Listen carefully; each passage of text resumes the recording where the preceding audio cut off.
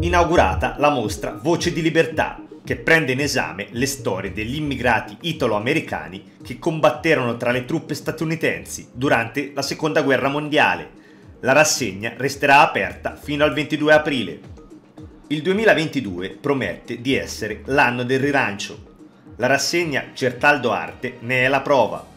Tre mostre in programma e la voglia di dare un'immagine nuova a Palazzo Pretorio. Trasferta per il Consiglio regionale a Bibbiena, dove si sono svolte le commemorazioni per le stragi di Partina e del Moscaio.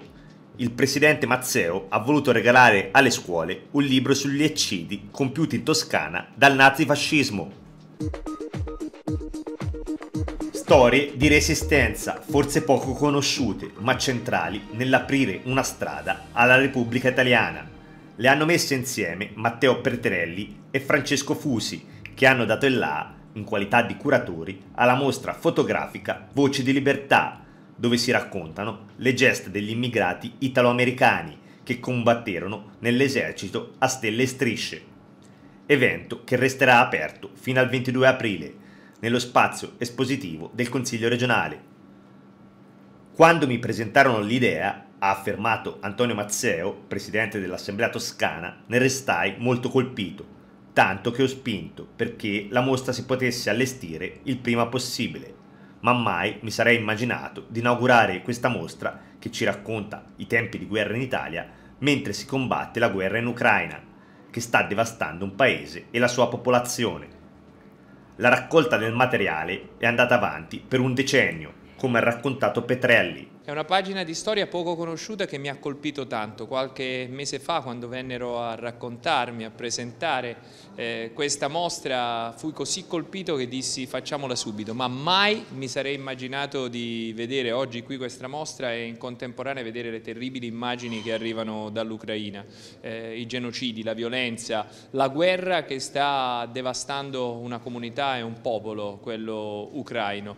E questa mostra è un modo per per dire grazie, grazie ai tanti uomini, ai tanti ragazzi che vennero a difendere la libertà della nostra terra. Erano figli di emigrati, soprattutto emigrati negli Stati Uniti o in eh, Brasile e tanti di loro solo dopo l'armistizio potebbero conoscere la loro famiglia, eh, i loro eh, avi e credo che insomma ricordarli oggi qui è un modo per dire grazie ma anche per eh, dire una cosa importante, che quello che è accaduto può accadere di nuovo e non bisogna mai voltarsi dall'altra parte, ma bisogna lavorare tutti insieme, ognuno per quello che può, perché in Ucraina torni la pace e scene come quelle che stiamo vedendo terminano velocemente. Originariamente gli italiani all'estero avrebbero un sentimento quantomeno filofascista, se non da un punto di vista ideologico, da un punto di vista più prettamente sentimentale perché spesso bistrattati dalle, nelle comunità ospiti vedevano in Mussolini una sorta di redentore dell'italianità. Però con la, lo scoppio della guerra gli italiani all'estero si ritrovarono spesso nemici eh, dell'Italia e quindi furono mh, purtroppo etichettati come potenziali quinte colonne. Ecco, da quel momento in poi scattò un sentimento di rivalsa e si volle dimostrare il proprio, il proprio filoamericanismo in primo luogo, ma patriottismo a livello generale a sostegno dei paesi ospiti. Sono ormai quasi dieci anni che facciamo ricerca in archivi, sulla stampa e quant'altro, ma soprattutto questo è un lavoro che si basa su una forte empatia con eh, veterani che abbiamo incontrati, eh, ormai stanno scomparendo, ma ne abbiamo incontrati alcuni alcuni anni fa, ma anche con eh, figli e figlie di questi veterani. Quindi si è creato un vero e proprio legame, una sorta di network perché i discendenti sono molto desiderosi di raccontare questa storia. All'evento è intervenuta anche Rajini Gupta, console americana a Firenze, che prendendo come spunto l'immagine in mostra ha parlato di ciò che sta succedendo in Ucraina questa mostra ci ricorda um, del, del, sacrificio, del contributo um, che, che, ha fatto i soldati italo-americani, partigiani italiani nei confronti del nazifascismo. E quello che sta succedendo in Ucraina, gli ucraini anche stanno dimostrando un coraggio simile. Ci ricorda molto, de, de, questa mostra ci ricorda anche di, di questo, quello che sta uh, accadendo uh, in Ucraina. I vuoti nel calendario sono ridotti al minimo. Certaldo Arte 2022 promette di dare un colpo di spugna agli anni della pandemia e a tutto quello che hanno rappresentato. L'obiettivo è quello di offrire un punto di vista nuovo rispetto all'offerta artistica ospitata a Palazzo Pretorio, scommettendo ancora una volta sull'arte contemporanea. Sono mostre da visitare, prima Montanarini, poi la mostra di Talani, pittore che ho avuto modo di conoscere personalmente e ci racconta con occhi attento la Toscana di oggi, e infine quella di Claudio Cionini, un giovane che avrà grandi prospettive, ha affermato il presidente del Consiglio regionale Antonio Mazzeo. Al suo fianco Francesca Parri, la curatrice della Kermesse. Palazzo Pretorio è un contenitore prezioso, capace di esaltare meravigliosamente le opere che vi vengono esposte. Un onore poter allestire delle mostre in un luogo così evocativo, Certaldo Arte 2022 rappresenta una rassegna d'arte contemporanea di grande valore artistico. L'iniziativa ha già preso il via con la mostra Luigi Montanarini, La pittura come vita, opere dal 1925 al 1990, è bello davvero poter ospitare questo momento in cui si racconta come si riesce a tenere insieme la storia, la bellezza dei nostri territori. Eh, il Palazzo Petrolio a Certaldo Alto, insieme alla bellezza di tutto il borgo, ospiterà collezioni di arte contemporanea, un mix che rende bella e grande la Toscana, con i piedi ben radicati nella sua storia, nella sua bellezza, nei suoi valori, ma anche con la capacità di guardare al futuro.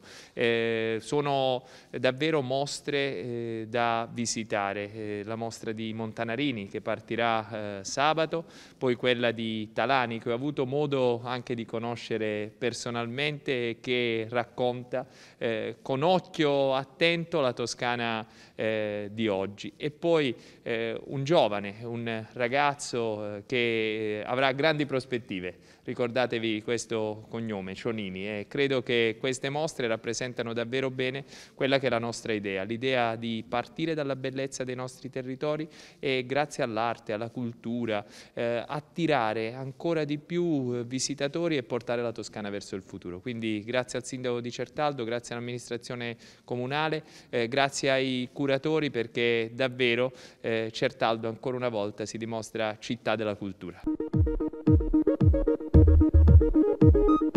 Saranno allestite tre, tre, mostre in Palazzo Pretorio per la rassegna Certaldo Arte 22. La prima sarà inaugurata sabato prossimo, 9 aprile, e sarà dedicata a Luigi Montanarini, grande artista a livello internazionale, artista fiorentino di nascita, eh, romano d'adozione un legame fortissimo con Certaldo, quello di Montanarini, perché Montanarini partecipò a un concorso organizzato dal comune di Certaldo con omaggio a Boccaccio. Nel 66 furono scelti eh, due suoi disegni eh, ispirati alla figura di Anastasio degli Onesti del Decamerone. Questi due disegni saranno esposti nella mostra oltre a tutto il carteggio fra il comune di Certaldo appunto e Montanarini che è valso veramente la pena di esporre perché trattasi di lettere scritte con una calligrafia veramente elegante che ad oggi non non, non si vede più. La mostra successiva sarà inaugurata invece a giugno e sarà dell'artista Giampaolo Talani di San Vincenzo, scomparso nel 2018, conosciutissimo Talani. Qua a Firenze abbiamo l'affresco alla stazione di Santa Maria Novella affreschi, datato 2006. Anima sola, viaggio a Finesterre è invece il titolo dell'esposizione dedicata alle opere di Giampaolo Talani, pittore e scultore di origini livornesi, in programma dal 25 giugno al 22 settembre. La terza esposizione si intitola Immaginare la realtà, prospettive, luci, atmosfere, realizzata in collaborazione con la Galleria d'Arte Nozzoli e dedicata alle opere di Claudio Cionini. L'evento è in calendario dal 1 ottobre al 15 gennaio 2023. Le sale dell'edificio, simbolo del nostro territorio, si sono dimostrate cornice impeccabile, ha evidenziato Giacomo Cucini, sindaco di Certaldo.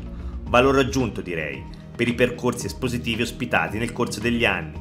Da qui la volontà di creare un cartellone unico, da proporre a turisti e visitatori. Da sempre le nostre sperimentazioni di unione fra il Palazzo Pretorio, che è un palazzo eh, medievale con degli affreschi splendidi che ha sempre ormai da anni valorizzato l'arte contemporanea.